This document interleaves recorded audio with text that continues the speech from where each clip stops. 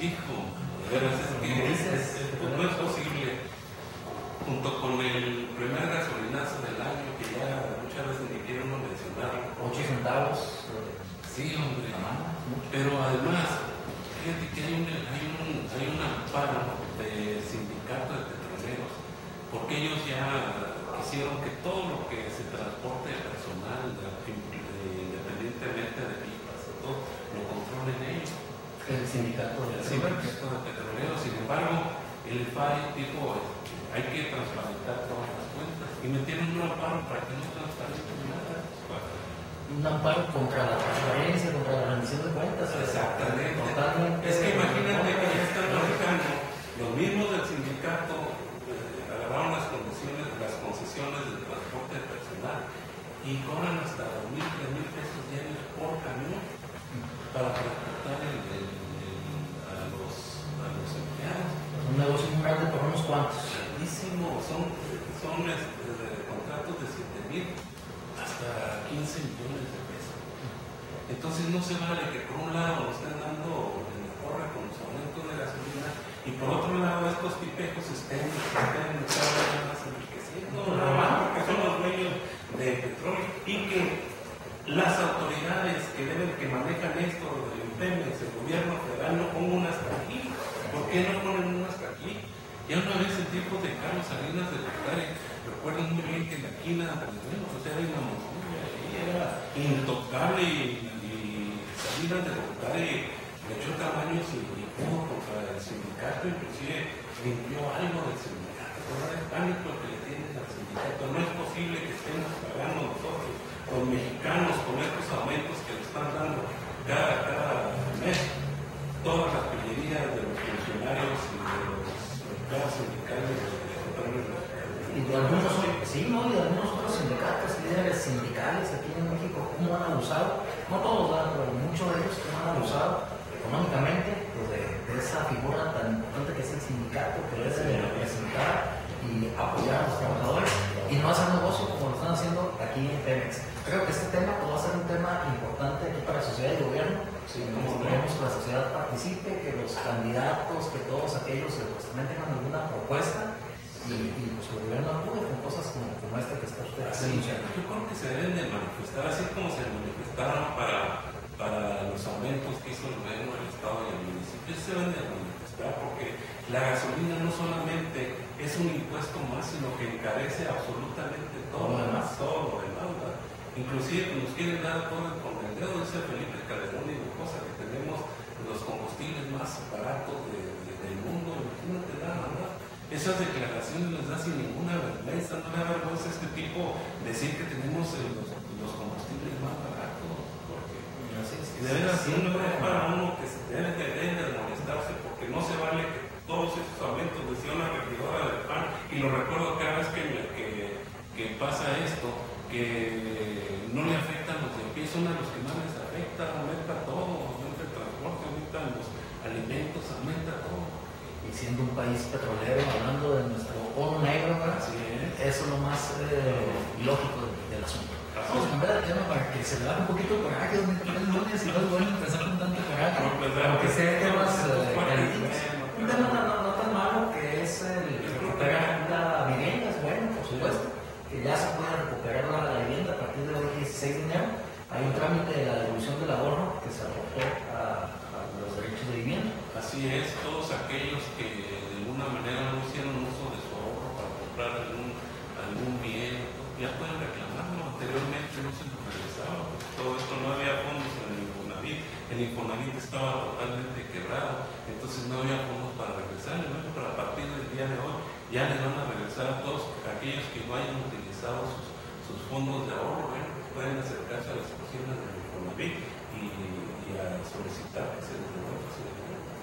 Sí, dice que todos aquellos que estén pensionados bajo la ley del 73 entran directamente a este beneficio, que es la devolución del ahorro para la vivienda, que nunca, nunca usaron. Pues creo que va a ayudar bastante a, a muchos mexicanos Sí, que no definitivamente crédito. sí, va a ayudar bastante a muchos de los.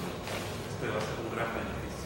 Así es, y dentro de otras eh, notas, si le gustan a Héctor, las notas del Subsemún, que vienen siendo los recursos eh, de seguridad que que aporta la federación. Dice que los municipios con mayor incidencia delictiva pues, van a tener más recursos del subsegún en este año. O sea que Chihuahua va a tener bastante recursos. Fíjense que eso es precisamente lo incongruente. Siempre sale con que Ciudad Juárez es el municipio, el municipio de Chihuahua son de los más, de los más eh, inseguros, de los más violentos. Sin embargo, en la lista que nos mandan del y hay mucho dinero, ¿eh? son, vamos a hablar de 4.500 millones de pesos para beneficiar a 239 municipios con mayor incidencia y no viene Ciudad Juárez. No está incluido Ciudad Juárez. No está incluido Ya no es una ciudad violenta. Bueno, para repartirles el dinero, ¿no? Para, para andarlo publicando, que es una de las ciudades más violentas, eso sí lo hacen. Pero para los recursos del subsegún, tanto Ciudad Juárez como Chihuahua, no aparecen en esta lista de las 279 eh, municipios. Pues mal por el gobierno federal, el gobierno federal el que debe de, de hacer un análisis eh, de cuáles son los municipios que más necesitan este recurso especial. Que, si bien eh, esos datos de que se ha disminuido la delincuencia en el estado de Chihuahua, pues pueden afectar para la cuantía total al final de este recurso, pues eh, Definitivamente que sí. es ilógico pensar que, que ya no necesitamos ese recurso para seguridad. Definitivamente que no, yo creo que sí tiene la razón en eso que dices, publicitar que la delincuencia ha bajado tanto, puede ser que esté afectando en estos recursos del subsegún, del subsegún, perdón. Tengo entendido que sí van a llegar recursos para ellos, pero no los tiene dentro de los prioritarios. Vale, entonces ese dato es malo, aunque también eh, recordemos lo que dijo el regidor Ramón Sáenz, el coordinador rector del PAN, que esto se podía deber a que la misma, el mismo municipio no reportaba las cifras o no, no cumplía con los requisitos para recibir esto del subsegún. Así es. Bueno, pero tenemos entendido, eh, hemos platicado en alguna ocasión con el presidente municipal y dice que todo, de todos los trámites están hechos. En Ciudad Juárez no sabemos con el total desgarriate que trae allá Héctor Murguía, Héctor. presumido. Pito Calle, esto esto calle, nomás que no sirve para nada, esa es la referencia, más que para rodar, que salió bueno para el puñalón el cuate, y lo digo con, con bueno, con muchas ¿cómo te diré? Con mucha información que nos han tenido y cuando quieras se la buscamos. Lo vas a hacer ahorita. Pero es quién sabe, esperemos que no. Todo ¿verdad? puede pasar. Que todo puede pasar. Pues ya ves que aparentemente en eso de los senadores, el que andaba también metido ahí que quería ser senador, va a ser que va a quedar fuera por todos los acuerdos que se han hecho. ¿no? Sí, Reyes, El corte de leyes. sí. Eh, todo, todo se, este, se, se devuelve en política. Fue una amenaza política, pero bueno, ese es otro tema. ¿no? Ese es otro tema que tenemos otro día. Otro día, exactamente, hablando de, de políticos influyentes, Han Ron, una vez más, Este es un delincuente. y en la política lo que da vergüenza para, para la política misma, esa ciencia que los griegos eh, le llamaban el arte del buen gobierno, gente como ella pues, denigra totalmente la, la política y, detienen de nuevo a la escolta de, de Han Ron, ahora por tener aves exóticas sin, sin- sin sus permisos. Bueno, eso, bueno, eso de los animales exóticos, ¿no? ha tenido ya varios problemas. Sin embargo, no, le- no, no, no, no pasa nada, él sigue haciendo sus cosas y al cabo sabe que no le van a hacer absolutamente nada. Sigue trayendo aves y, y animales exóticos para su zoológico particular y pues no se van, ¿verdad? Porque son especies en extinción. Así es, ya tuvo un problema con diversos eh, animales en extinción. Me gustan, Con armas, me gustan mucho los animales exóticos y las armas. Y las armas, fíjate, nada más es Sí, las. Como los hijos, creo que tienen como 18, 19 hijos. Bien, ¿no? Eso no sé. Pues si los mantienen está bien. Bueno, Híjole, pues con tanta chutura que es de... otra noticia, a lo que me parece, dos millones de credenciales de IFE sin renovar. Dos millones de personas no van a poder votar, es lo más lamentable, no van a poder elegir al gobierno que, que necesitamos, que merecemos, que necesitamos, que urge, ¿no, Héctor? Hace días, los diputados federales pedían que se ampliara el plazo. Es Y- y- incongruente que... diputado que- local que- también, ¿no? Esos estados así lo Sí, decían. que se ampliara el plazo. Espérame. Ah, Si no lo están haciendo con tanto tiempo que les dieron, por más que les saquen los plazos, no van a hacerlo. Son gente de niveles que, no tiene la capacidad para, cumplir con sus obligaciones. Es una obligación además es un beneficio. Cualquier trámite que vas a hacer te exigen tu credencial del, del lector actualizada.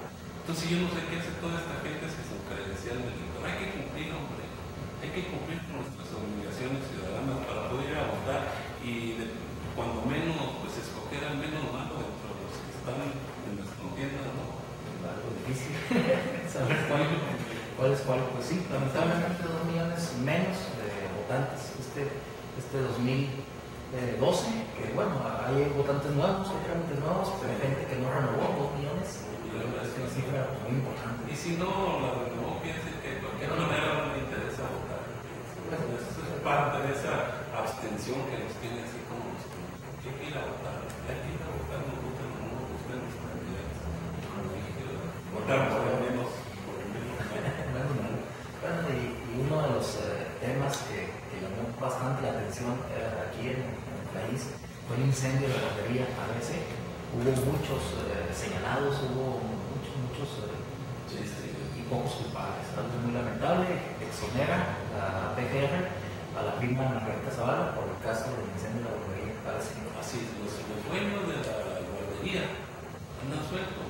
Y hay gente, como siempre, el, hilo se rompe por más delgado. Hay gente, hay, gente en prisión que deben de ser inocentes, pero esta gente, pues es mi prima Margarita.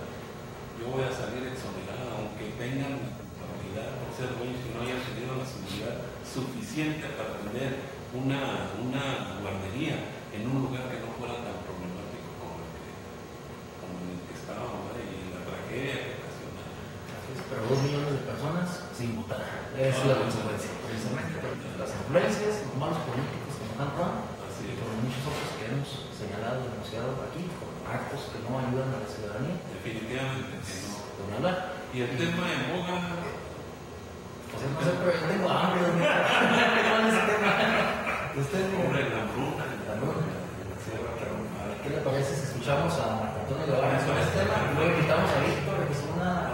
Ya llegó Víctor. Parece que ya llegó. Bueno, yo lo veo muy atento. Vamos a escuchar a Marco Antonio Guevara con este tema de la hambruna. Muy bienvenidos ¿Se va a una vez? Oye, Seguramente ustedes como nosotros